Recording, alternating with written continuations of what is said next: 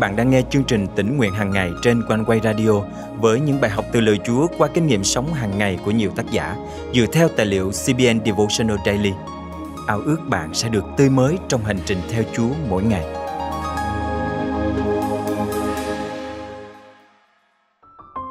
Giữa những bộn bề cuộc sống, chúng ta thường cảm thấy mình quá bận rộn và chẳng còn thời gian đâu mà tương giao với Chúa. Tuy nhiên, chúng ta không cần phải có một cuộc đời rảnh rang và một không gian yên tĩnh để đến với Chúa. Chúng ta vẫn có thể tương giao gần gũi với Ngài và bước đi cùng Ngài ngay trong cuộc sống đầy lo lắng và vất vả này. Hôm nay, ngày 15 tháng 11 năm 2022, chương trình tính nguyện hàng ngày thân mời quý thính giả cùng suy gẫm lời Chúa với tác giả Cherry Strange qua chủ đề Cách để bước đi với Chúa. Bởi đức tin, Henoch được cất lên và không trải qua sự chết. Người ta không thấy ông nữa vì Đức Chúa Trời đã tiếp ông lên. Bởi trước khi được tiếp lên, ông được chứng nhận là đã sống hài lòng Đức Chúa Trời. Hebrew chương 11 câu 5 Đôi khi tôi tự hỏi có phải Chúa đã nhầm lẫn khi sắp đặt cuộc đời tôi không? Tám đứa con lẫn quẩn bên chân với vô vàng nhiệm vụ lặt vặt khiến tôi không còn thời gian dành cho bản thân nữa. Tôi hầu như không có thì giờ để ngồi nghỉ hay là chợp mắt. Hiếm khi tôi được ăn một bữa ăn tử tế. Nếu tôi sống một mình trong căn nhà nhỏ bên rừng hoặc trên bãi biển, chỉ ăn mỗi rong biển và nước dừa, thì chắc hẳn tôi có thể tĩnh tâm cầu nguyện trong hàng giờ đồng hồ. Và nhờ đó, tôi có thể bước đi gần gũi với Chúa. Nhưng với cuộc sống hiện tại thì không bao giờ. Với những đứa con này thì không bao giờ. Chúng suốt ngày đòi ăn và cần thay quần áo. Tôi thậm chí không dám nhắc về trách nhiệm trong hội thánh, bởi vì hầu như ngày nào cũng vậy. Tôi còn chẳng nhớ nổi mình phải đón con ở đâu, khi nào, chứ huống chi còn tâm trí để mà suy nghĩ về bất cứ điều gì ngoài nhu cầu cuộc sống. Vì thế, nên câu chuyện của Henoch chẳng ấn tượng với tôi chút nào. Với biết bao trách nhiệm khiến tôi mờ mắt, tôi cho rằng mình đã bỏ lỡ quá nhiều điều quý giá bởi cái cuộc đời rối ren mà Chúa đã định cho tôi. Có lẽ mọi chuyện sẽ dễ dàng hơn cho Henoch nếu ông sống trên bãi biển, ăn rong biển và uống nước dừa. Nhưng không phải như vậy. Thay vào đó, ông là chủ một gia đình. Chúng ta biết rằng ông đã kết hôn và là cha của Methuselah, cũng như những người con khác. Sang thế ký chương 5, câu 22 đến 24. Henoch không chỉ dừng lại ở việc đáp ứng nhu cầu cần thiết của bản thân, mà còn chứng tỏ rằng như thế nào là bước đi với Chúa giữa cuộc sống bình thường. Trước gia đình và cả nền văn hóa của mình. Tuy không biết chi tiết, nhưng chúng ta hiểu rõ bản chất con người trong các mối quan hệ. Chẳng nghi ngờ gì, ông cũng phải đối mặt với những kẻ thích tranh cãi, đâm sau lưng hoặc lạm quyền trong suốt nhiều thế kỷ. Tuy nhiên, cuộc đời ông là một tấm gương bày tỏ mối quan hệ gần gũi mà Đức Chúa Trời mong muốn dành cho tất cả con cái Ngài. Mối quan hệ này đã trở thành một lối sống đi theo Henoch suốt các giai đoạn cuộc đời. Dù lúc khó khăn hay thời kỳ biến động, mối tương giao của ông với Đức Chúa Trời kéo dài hơn 300 năm. Qua Henoch, chúng ta học được rằng bạn và tôi không cần một khoảng lặng trong cuộc sống thường nhật thì mới có thời gian bước đi với Chúa. Mọi chuyện vẫn ổn dù cuộc đời có rối tung lên. Chúng ta không cần phải giảm bớt trách nhiệm, xa rời con cái, giãn lịch làm việc hoặc bắt đầu một chế độ kiêng ăn lâu dài chỉ bao gồm rau củ. Giống như Henoch, chúng ta chỉ cần cam kết bước đi với Chúa mỗi ngày. Quý tín giả của chương trình tỉnh nguyện hàng ngày cũng có thể cân nhắc thực hiện một trong các bước sau để cùng đi với Chúa ngày hôm nay. Chúng ta bắt đầu nhé. Thứ nhất, 30 phút đầu tiên. Đôi lúc chúng ta không gặp gỡ Chúa ngay khi ngày mới bắt đầu. Hãy xem xét những việc bạn thường làm vào 30 phút đầu tiên trong ngày. Chẳng hạn như lướt điện thoại, đọc tin tức, sắp xếp công việc hoặc tiếp tục chương trình đang gian dở. Thay vào đó, hãy dành 30 phút đầu tiên trong ngày cho Chúa. Thứ hai, thiết lập một địa điểm gặp gỡ. Tương tự như thói quen gặp gỡ bạn bè, đồng nghiệp để ăn trưa hoặc uống cà phê, hãy chọn một địa điểm cụ thể để gặp gỡ Chúa và hãy trung tín thực hiện cam kết có mặt ở đó vào đúng giờ.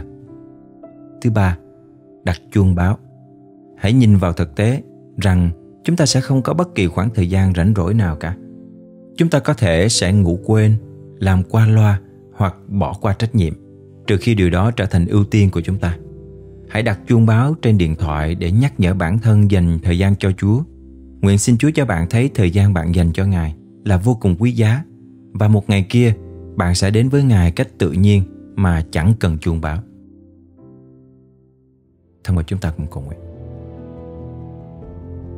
chúa con cảm ơn ngài, vì ngài chưa bao giờ bỏ rơi con giữa cuộc sống đầy khó khăn này chương trình mà ngài dành cho con là tốt lành, và ngài luôn thêm sức để con mạnh mẽ vượt qua mọi gian khó xin chúa ban cho con năng quyền để dạn dĩ bước đi cùng ngài mỗi giây phút con được sống trên đời này con thành kính cầu nguyện trong danh Chúa Giêsu Christ.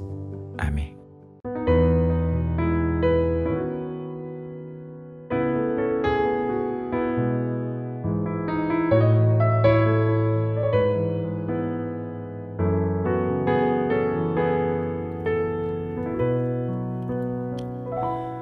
Bầu trời khuya, có muôn vì sao lấp lánh.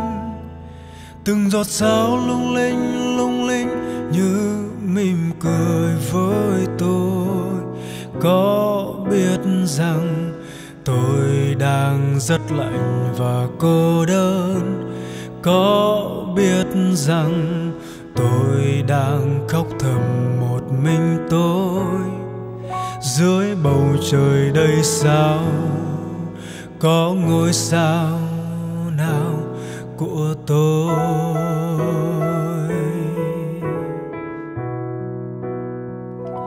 Rồi một đêm, có muôn vì sao lấp lánh. Một ngôi sao lung linh lung linh đã đến gần với tôi. Bỏ bầu trời, bao là rất đẹp ở cao kia. Để bước vào, tim tôi rất chật và thương đau. Để làm bạn thân tôi, ngôi sao của tôi. Là đường cho tôi đi tới.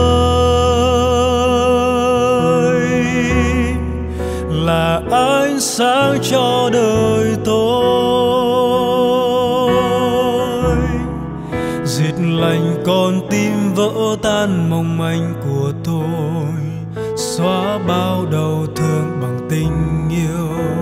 Dìu tôi đi giữa bầu trời đêm tăm tối, là người mà tôi yêu dấu. Chọn đời luôn bên tôi mãi, sẽ không phút giây rời xa đời tôi này đã có Giêsu ngài là tình yêu của tôi. Ngôi sao của tôi.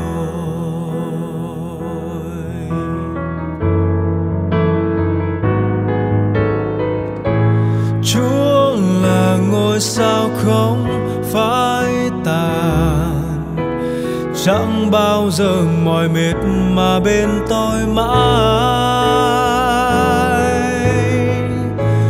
Chúa không là ngôi sao xa khuất những ngài ở trong trái tim tôi là đường cho tôi đi.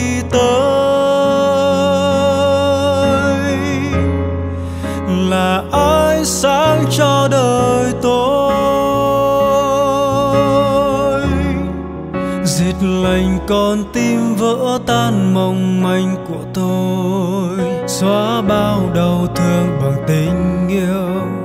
Dìu tôi đi giữa bầu trời đêm tăm tối.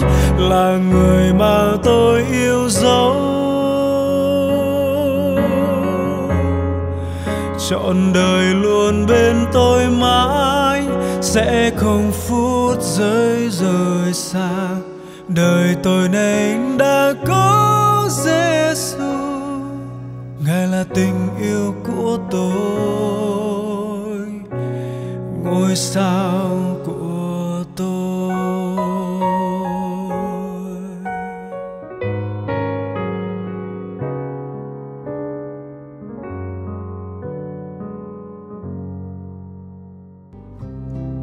quý thính giả thân mến bài học tỉnh nguyện hàng ngày hôm nay có đem lại ý nghĩa đặc biệt nào cho quý vị không? Nếu có, Quanh Quay ao ước quý vị hãy chia sẻ bài học này đến với người thân hoặc bạn bè của mình để họ cũng sẽ được khích lệ như bạn nhé. Cảm ơn quý vị đã dành sự yêu mến cho chương trình. Ước mong qua mỗi bài học sẽ giúp cho đức tin của chúng ta được lớn mạnh trong hành trình theo Chúa. Nếu được khích lệ và muốn góp phần dân hiến, hãy liên lạc với chúng tôi qua email chia sẻ amoconeway.vn hoặc số điện thoại 0896 164 199. Lời Chúa trong sách Hebrew đoạn 13 câu 5 có chép rằng Ta sẽ chẳng lìa ngươi đâu, chẳng bỏ ngươi đâu. Hãy luôn dành thời gian với Chúa mỗi ngày để kinh nghiệm sự đồng hành của Ngài trên mọi bước đường. Chương trình thân chào và hẹn gặp lại quý vị vào ngày mai.